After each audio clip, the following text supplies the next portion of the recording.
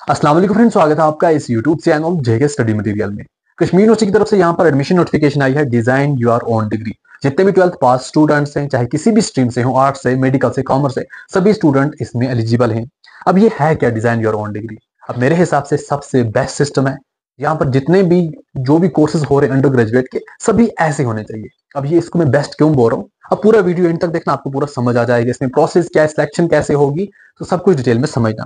देखो, कश्मीर यूनिवर्सिटी की तरफ़ से ये जो नोटिफिकेशन आई है डिज़ाइन योर ओन डिग्री इसमें जो भी ट्वेल्थ पास स्टूडेंट्स हैं, जिनके 60 परसेंट से ज़्यादा मार्क्स हैं ट्वेल्थ में, या फिर किसी कैटेगरी से हैं तो 55 परसेंट से ज़्यादा मार्क्स हैं, वो इसमें एलिजिबल हैं।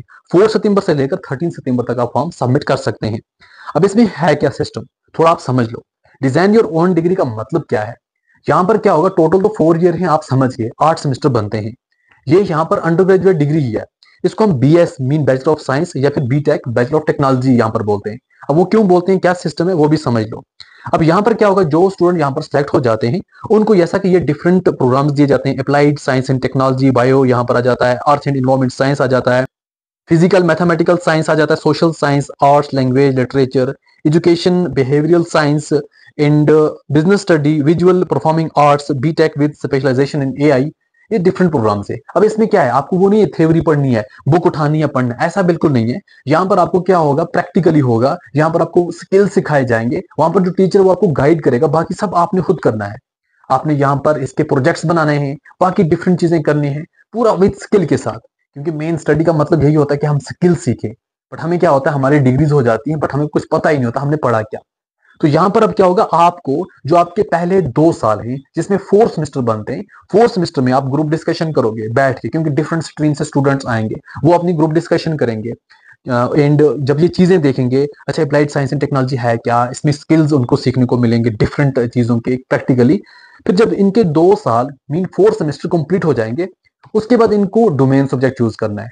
इन्हीं में से उनको जो पसंद आ रहा है जिसमें उनको इंटरेस्ट बढ़ रहा है अब जैसे कि कोई ऐसा स्टूडेंट होगा जिसको लगेगा, चलो जी ए बेस्ट है। वो बीटेक विद एआई करेगा। किसी को यहाँ पर अप्लाइड साइंस अच्छा लगेगा, वो अप्लाइड साइंस करेगा। चाहे स्ट्रीम आपके पीछे कोई भी है, यहाँ पर अब आपको मौका दिया जा रहा है। किसी को मैथमेटिक अच्छा लगेगा, किसी को सोशल साइंस किसी को आर्ट्स अच्छा लगेगा, वो उसी में आगे जाएगा। एंड कोई ऐसा स्टूडेंट है जिसको फिजिक्स अच्छा लगेगा, साथ में सोचेगा, मुझे म्यूज़िक चाहिए। साथ में सोचेगा, मुझे आर्ट्स चाहिए। तो वो उसको यहाँ पर दिया जाएगा। वो अपने बाकी, जो बाकी fourth semester fifth six seventh eight semester उनमें वो वो डोमेन सब्जेक्ट चूज़ करेगा, जिनका उसने बेसिक पहले देखा होगा, पहले चार सेमेस्टर में। उसको जो पसंद आएगा, वो उसी हिसाब से उनको चूज़ करेगा। फिर जब वो चूज़ करेगा, फिर वो अपनी अपनी मर्ज़ी से पढ़ेगा, क्योंकि उसकी अपनी मर्ज़ी से सब्जेक्ट होंगे। उसने प्रैक्टिकली किया हुआ है आगे भी उसको विद यहाँ पर प्रैक्टिकली स्किल के साथ सिखाया जाएगा। अब गवर्नमेंट का कहना है कि ये जो भी स्टूडेंट्स ये डिग्री करेंगे तो इसमें आप गवर्नमेंट से जॉब लेने वाले नहीं, लोगों को जॉब देने वाले बन सकते हो। क्योंकि यही सेम डिग्रीज जो हैं, वो चाइना में, जापान में होती हैं। क्योंकि वहाँ स्टूडेंट्स को पहले से ही स्टार्ट से ही स्किल सिखाए जाते हैं। जैसे कि कोई स्टूडेंट जो है, वो यहाँ पर मोबाइल रिपेयरिंग का कोर्स कर रहा है डिग्री कर रहा है। तो वहाँ पर वो नहीं पढ़ाया जाता है मोबाइल रिपेयरिंग ये होता है, इसमें ये होता है मोबाइल किस तरह वहाँ पर उनको सिखाया जाता है स्टार्ट से ही, ताकि वो जब डिग्री कंप्लीट करते हैं, उनको पूरा पता होता है कि मोबाइल बनता कैसे है। फिर वो अपनी बड़ी बड़ी कंपनीज़ खोलते हैं मोबाइल बनाते हैं, फिर पूरे यहाँ पर वर्ल्ड में फैलाते हैं।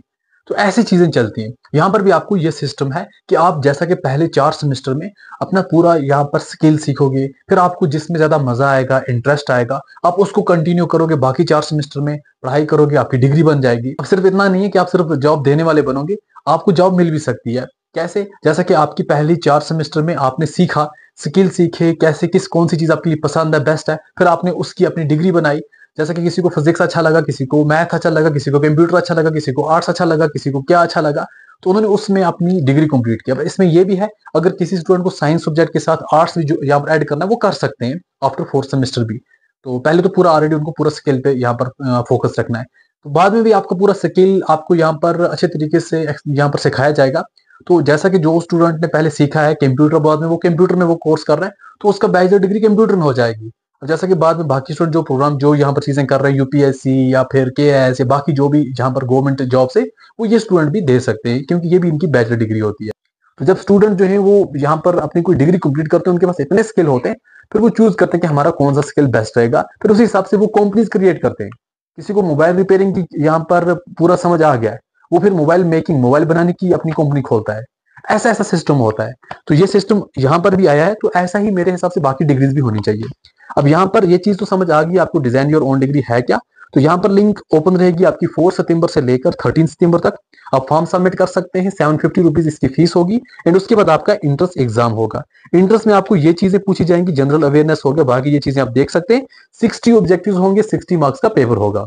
एंड यहाँ पर नेगेटिव मार्किंग भी होगी। जो भी स्टूडेंट सेलेक्ट हो जाएँगे, उनको कश्मीर यूनिवर्सिटी मेन कैंपस मिलेगा। मेरे हिसाब से इस साल थर्टी सीट्स हैं इसमें टोटल तो जो भी यहाँ पर इंटरेस्टेड स्टूडेंट्स हैं तो वो फॉर्म सबमिट कर सकते हैं। एंड अगर आपको डिटेल में और चीज़ें समझनी है, पूछनी है, आप कमेंट करके यहाँ पर बता सकते हैं।